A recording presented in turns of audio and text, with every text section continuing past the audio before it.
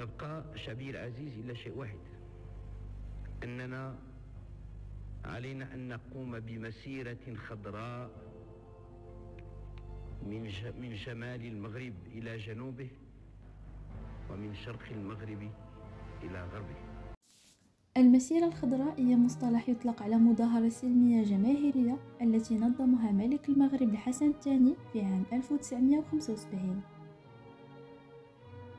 وذلك احتجاجا على الاحتلال الإسباني للأقاليم الجنوبية وهي التي تمثل صحراء المغرب.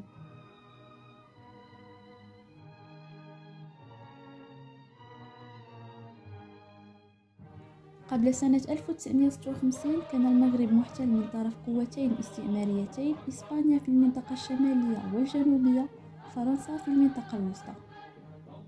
في مارس سنة 1956 تمكنا من الاستقلال عن فرنسا بينما بعض المناطق في الشمال والجنوب ظلت تحت النفوذ الإسباني. وفي سنة 1958 استرجع المغرب مدينة سيدي إفني ثم استرجع طرفايا سنة 1969 مع بقاء الأقاليم الجنوبية تحت النفوذ الإسباني.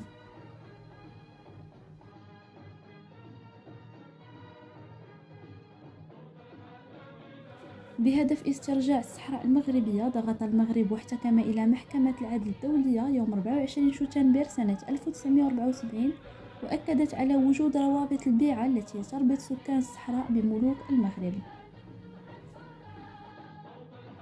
رغم إنصاف محكمة العدل الدولية إلى أن إسبانيا رفضت الانسحاب من المغرب فرد الملك الحسن الثاني يوم 16 من أكتوبر سنة 1975 ودعا إلى تنظيم أكبر مسيرة سلمية في تاريخ المغرب. مسيرة خالدة نقشت حروفها في الذاكرة الحية للمغرب.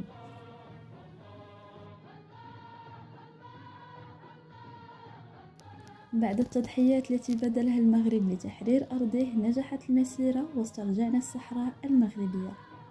يوم 9 نوفمبر سنة 1975 من نفس العام وقع المغرب اتفاقية مع موريتانيا وإسبانيا لاستعادة المغرب بمقتضاها أقاليمه الجنوبية وهكذا شعبي العزيز قمنا بمسيرتنا وقمنا بها أحسن قيام.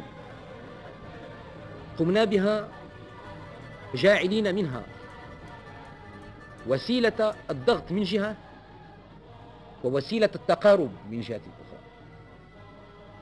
فحينما أردنا أن نظهر عزمنا وقرارنا على أننا مستعدون الشعب المغربي كله بأن يستشهد في سبيل صحرائه كانت المسيرة عنوانا للشجاعة والإقدام والاستشهاد. حينما قررنا أن نظهر للعالم المحبين منهم الخصوم أننا شعب يمكن أن ننطلق بل في إمكاننا أن نقف ونتروى ونحكم العقل ونحكم المنطق كانت تلك المسيرة المسيرة الخضراء السلمية البشرية الإنسانية التي دلت هي بدورها على مدى تعلقك بحضارتك وبالقيم الروحية التي جعلت منك عبر التاريخ ذلك الشعب المهاب الجوانب المحترم المكرم.